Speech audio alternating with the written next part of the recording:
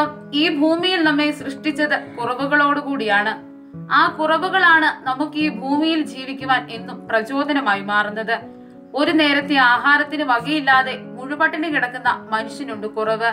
ജീവിതത്തിൽ എല്ലാവിധ സുഖ സൗകര്യങ്ങളും ലഭിച്ച് പണത്തിന്റെ പ്രൗഢിയിൽ സുഖലോലുപതയിൽ മുഴുകി ജീവിക്കുന്ന മനുഷ്യനുമുണ്ട് ഇതേ കുറവ്. യേശു ക്രിസ്തു ജനസമൂഹത്തോട് ശിഷ്യത്വം പ്രസംഗിക്കുന്ന സമയം ആ സമൂഹത്തിന്റെ സംഖ്യ വെറും പതിനൊന്ന് ശിഷ്യന്മാർ മാത്രമായി തീരുകയാണ് ഉണ്ടായത്. മറ്റുള്ളവർ ഇതൊരു കഠിന മാർഗമെന്ന് കണ്ട് അവിടുത്തെ വിട്ടുപോയി. എന്നാൽ തന്നോട് പറ്റി നിന്ന ഈ പതിനൊന്ന് ശിഷ്യന്മാരിലൂടെയാണ് ലോകത്തിലെ തന്റെ ലക്ഷ്യങ്ങൾ കർത്താവ് നേടിയത്. ക്രിസ്തുവിന്റെ ശരീരമായ സഭയെ പണിതുയർത്തണമെങ്കിൽ ക്രിസ്തു ശിഷ്യരായി നമ്മൾ ഓരോരുത്തരും കുറവുകൾ അംഗീകരിച്ച് ജീവിക്കുക തന്നെ വേണം. എന്റെ കുറവുകൾ അപരന് നന്മയായി മാറാൻ പറ്റണം. മറ്റുള്ളവരെ സ്നേഹിച്ചും മറ്റുള്ളവരെ സഹായിച്ചും മറ്റുള്ളവർക്ക് നന്മ ചെയ്തും എന്റെ ജീവിതത്തിന്റെ കുറവുകൾ ഞാൻ പൂർണതയാക്കി മാറ്റണം. ക്രിസ്തുവിനോട് ചോദിച്ചാൽ ധ്യാനപൂർവം അവിടുത്തെ സ്വരം ശ്രവിച്ചാൽ അവൻ നിന്റെ കുറവെന്താണെന്ന് നിനക്ക് മനസ്സിലാക്കി തരും. ക്രിസ്തുവാകണം നമ്മുടെ വെളിച്ചം. ഈ വെളിച്ചത്തിലൂടെ തന്റെ കുറവുകളെ മനസ്സിലാക്കി ജീവിക്കണം. ഈ തിരിച്ചറിവാണ് നമ്മെ ഓരോരുത്തരെയും യഥാർത്ഥ ക്രിസ്തു ശിഷ്യരാക്കി മാറ്റുന്നത്. നമുക്ക് മുന്നോട്ട് നീങ്ങാം.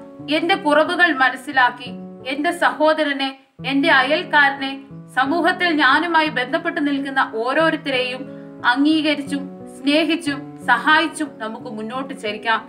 അങ്ങനെ ഈ നോമ്പ് കാലത്തിൽ കരുത്തോടെ നമുക്ക് സഭയെ മുന്നോട്ട് നയിക്കാം. ആമേൻ. ഈശോയുടെ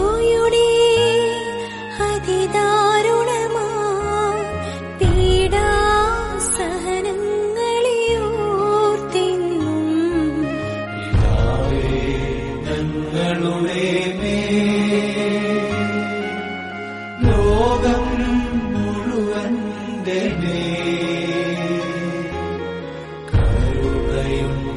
കരുണയുണ്ടാകേണമേ. ഈശോയുടെ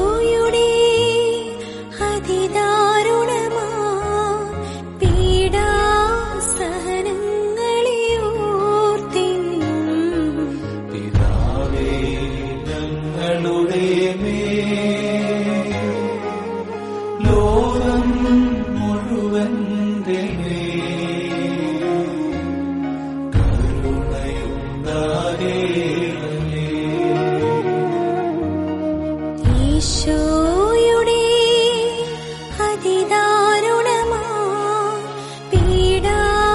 പീഡാസഹനങ്ങളെ ഓർത്തിന്നും ഞങ്ങളുടെ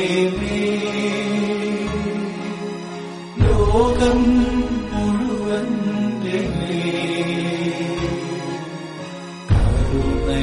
Bhagavad